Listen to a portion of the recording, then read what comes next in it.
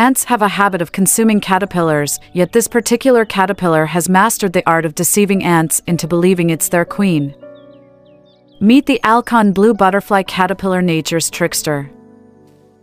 This seemingly ordinary caterpillar possesses an extraordinary skill, mimicking the scent and behavior of ant queens, allowing it to infiltrate ant colonies without raising suspicion.